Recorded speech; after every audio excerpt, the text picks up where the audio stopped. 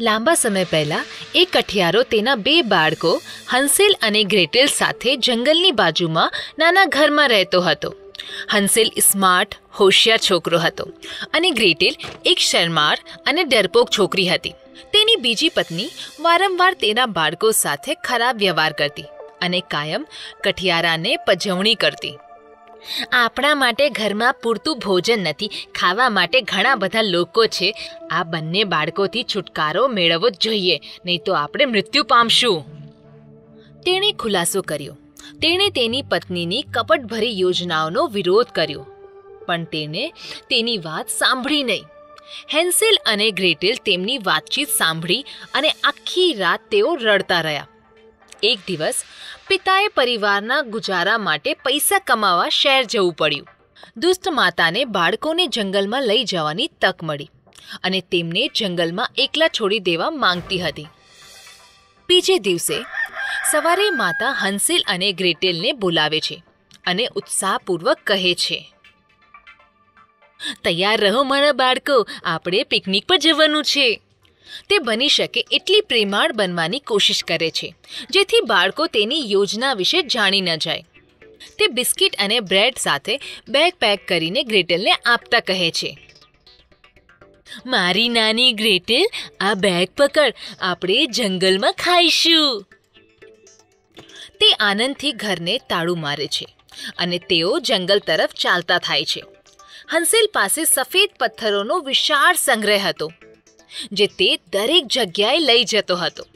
અજાણે હંસેલ સફેદ પથ્થરો રસ્તામાં મૂકતો ગયો. ઘરે પાછા આવતા આપણે આ પથ્થરોને અનુસરી શકીએ છીએ. હંસેલ માટે આ એક રમતનો જ ભાગ હતો. તે તેની માતાની યોજનાથી અજાણ હતો. એની માએ સફેદ પથ્થરો જોયા જે હંસેલ મૂકતો હતો પણ એ શાંત રહી. જેવા તેઓ જંગલમાં પહોંચી ગયા, ત્યારે તેમની સાવકી માએ એનાથી કહ્યું, આ પિકનિક માટે સારી જગ્યા લાગે છે. તમે બંને અહીંયા સૂઈ જાઓ. ત્યાં સુધી હું તમારા બંને માટે તાજા ફળ લઈ આવું છું. તેણે તેમને એકલા છોડી દીધા. હેન્સેલ અને ગ્રેટેલ એક મોટા ઝાડ નીચે બેઠા અને થોડા બિસ્કિટ ખાધા અને રમત રમ્યા. સમય પસાર થયો અને શાંત પડી ગયા. ગ્રેટેલ ચિંતા કરે છે કે તેમની માતા હજી સુધી તેમને પાછા લેવા નથી આવી. તેમની સાવકી માએ હંસેલને રસ્તામાં પથ્થર મૂકતા જોયો હતો અને તે જાણતી હતી કે બંને ખૂબ હોશિયાર છે અને તેઓ પથ્થરના વડે ઘરે પાછા ફરી શકે છે. એટલે તેણે રસ્તામાંથી દરેક પથ્થર જે હંસલે મૂક્યા હતા તે ઉઠાવી લીધા અને તેના જેવા જ પથ્થર ખોટા રસ્તા તરફ મૂકી દીધા. ગ્રેટિલ ડરી ગઈ હતી. એટલે હંસેલે તેને કહ્યું આપણે રાત સુધી રાહ જોઈ શકીએ છીએ. મેં રસ્તામાં સફેદ પથ્થરો મૂક્યા છે અને તે આપણને ચંદ્રના અજવાળામાં ઘરે લઈ જશે. જ્યારે રાત પડી ગઈ ત્યારે જંગલી પ્રાણીઓના ભયાનક અવાજનો પડઘો તેમની આસપાસ પડવા લાગ્યો. તેઓ ડરી ગયા પણ તેઓએ ચંદ્રના પ્રકાશની રાહ જોઈ અને તેઓ પોતાના સફેદ પથ્થરો જોઈને ખુશ થયા. પથ્થર ચંદ્રપ્રકાશમાં ચમકી રહ્યા હતા. તેઓ પથ્થરોને અનુસરીને ચાલવા લાગ્યા. પણ તેઓને ખબર નહોતી કે તેમની સાવકી માએ પથ્થર ખોટા રસ્તા તરફ મૂક્યા છે. મારો હાથ પકડ. હું તને સુરક્ષિત રીતે ઘરે પરત લઈ જઈશ. તું જોજે. હંસેલે આત્મવિશ્વાસ સાથે કહ્યું. તેઓ ટૂંક સમયમાં થાકી ગયા. અને તેઓ પોતાના ઘરથી જરા પણ નજીક નહોતા પહોંચ્યા. તેઓ એક ઝાડ નીચે બેસી ગયા. કેમ કે તેમની આસપાસ ઘણા જુગનું ઉડી રહ્યા હતા અને નાચી રહ્યા હતા. તેઓ ચંદ્રપ્રકાશ અને જુગનું સમક્ષ આશ્ચર્યથી બેઠા હતા અને સૂઈ ગયા. રાત પસાર થઈ અને તેઓ સવારે ઊંઘમાંથી ઉઠ્યા અને તેઓએ ખૂબ સુંદર રંગબિરંગી પતંગિયું જોયું. તેઓ એકબીજા તરફ ખુશીથી જોઈ રહ્યા હતા અને હસ્યા. થોડી ક્ષણો માટે તેઓ ભૂલી ગયા હતા કે તેઓ ભૂખ્યા છે. અને રસ્તો ભૂલી ગયા છે.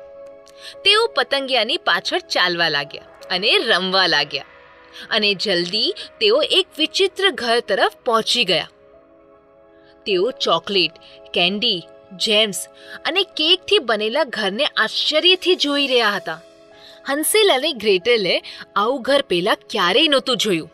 એ ખૂબ જ ખુશ હતા અને તેઓ પોતાને સ્વાદિષ્ટ વાનગીઓ ખાવાથી રોકી શક્યા નહીં.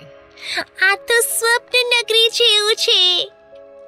ગ્રેટેલે કહ્યું, તેઓએ ઘરનો દરવાજો જોયો અને વિચાર્યું કે તેઓ અંદર જઈને વધુ પણ ખાઈ શકે છે અને રમી શકે છે. તેઓ દરવાજેથી અંદર પ્રવેશ્યા.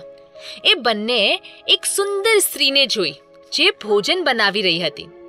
તેઓ તેને મળ્યા. તે સ્ત્રી ખૂબ જ સારી અને ઉદાર દેખાતી હતી. Good afternoon my dear lady Hansel અને ગ્રેટેલે એ સુંદર સ્ત્રીને બોલાવી. અમે ઘરનો રસ્તો ભૂલી ગયા છે. તમે રસ્તો શોધવામાં અમારી મદદ કરશો? તે સ્ત્રી તેમની તરફ દયાથી જુએ છે અને માથું હલાવે છે. હા મારા બાળકો હું જરૂર તમારી મદદ કરીશ. પણ તમારે થોડા દિવસ માટે મારી સાથે મહેમાન બનીને રહેવું પડશે. હું એકલી રહું છું. મને તમારી સાથે રહેવામાં મજા આવશે. તે બાળકો ખૂબ ખુશ હતા. સુંદર સ્ત્રીએ તેમના માટે સ્વાદિષ્ટ ભોજન બનાવ્યું. હંસિલ અને ગ્રેટીલે વિચાર્યું નહોતું એવું. તમે બંને ખૂબ કમજોર અને પાતળા છો. હું તમને ખવડાવીશ અને તંદુરસ્ત બનાવી નાખીશ. તેણે હસતા હસતા કહ્યું. થોડા દિવસો પસાર થયા. અને એક રાત્રિએ ગ્રેટલ મધ્યરાત્રિએ ઊંઘમાંથી ઉઠી.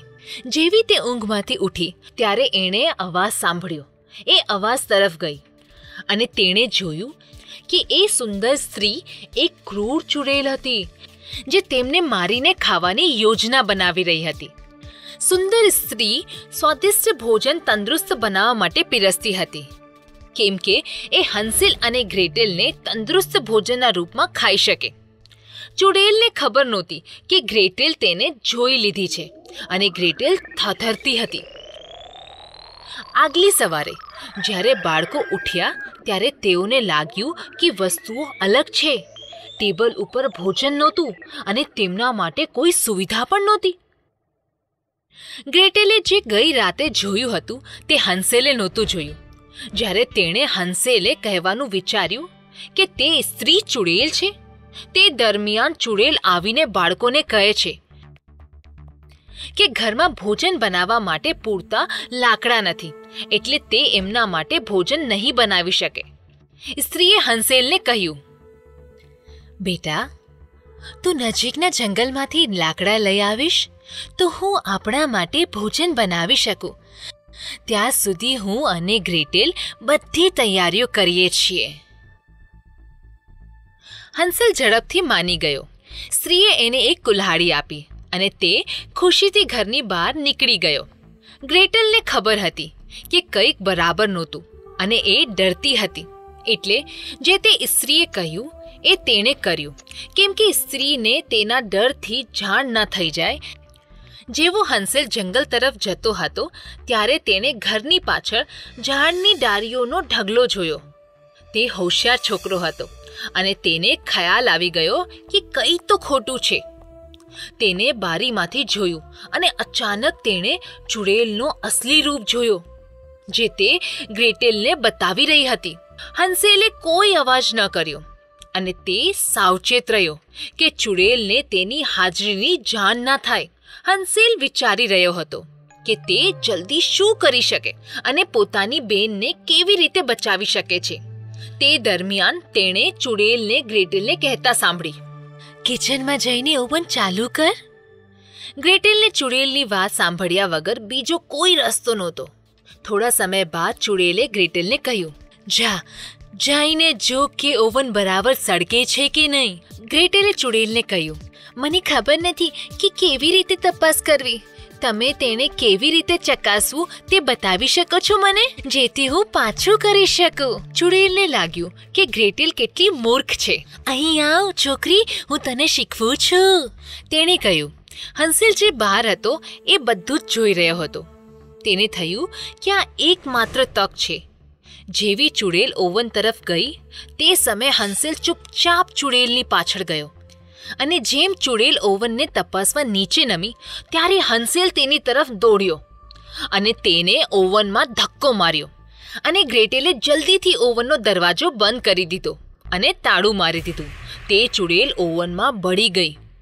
હંસેલ અને ગ્રેટેલ એકબીજાને ભેટી પડ્યા અને જે થયું તેના ઉપર તેમને વિશ્વાસ નહોતો અને તેઓ હવે સુરક્ષિત હતા. તેઓ ચુડેલના રૂમમાં ગયા અને તેમને જોઈને આશ્ચર્ય થયું કે ચુડેલ પાસે કેટલી સંપત્તિ અને કિંમતી રત્નો હતા. તેઓએ પોતાની બેગમાં જેટલી ભરી શકાય એટલી સંપત્તિ ભરી લીધી અને ઘરની બહાર નીકળી ગયા અને તેઓ ભાગતા ભાગતા પોતાને ઘરે પહોંચી ગયા. હંસેલ અને ગ્રેટેલે તેમના પિતાને ઘરની બહાર બેઠા જોયા. તે ખૂબ દુઃખી અને ઉદાસ દેખાતા હતા.